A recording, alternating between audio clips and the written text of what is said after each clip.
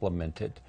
Well, they have moved in by the millions, covering the southwest and most of New Mexico from top to bottom. Mm, we have not seen an invasion of Miller moths like this in years. Action 7 News reporter Todd Unger joins us live outside with all those moths in your live report for us tonight, Todd.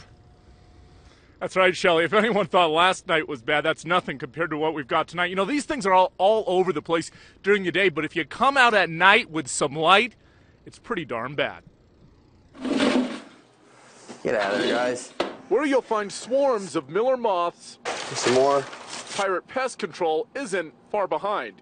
All kinds of phone calls. Oh, yeah, absolutely. At least a dozen calls. In just a few hours, that adds up to a lot of business for Jay Lee, who says this is the largest invasion he has seen in years. They're a nocturnal creature, but if you look right here underneath this trash bin, you can see that that there's lots and lots of them. And under that cover of darkness, attracted to light is when they really come out.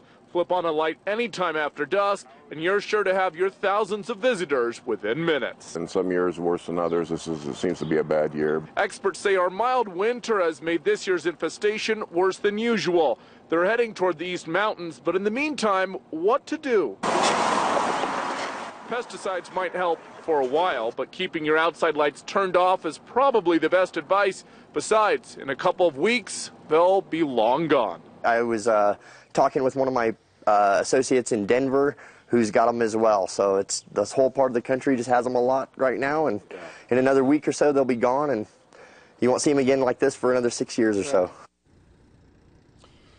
So you hear it right there Colorado, Arizona, Utah, Texas, and us, of course, right here in New Mexico, all getting these swarms of the Miller moths. Of course, if you do want to get a pesticide spray, something like that, usually runs about 75 bucks, but no guarantees that it's going to work. Again, probably the best advice is just to wait it out. More live in Albuquerque, Todd Unger, KOAT Action 7 News. I think if we waited long enough, one might fly in his mouth as he's talking. Good thing That's you never finished good. Oh my gosh.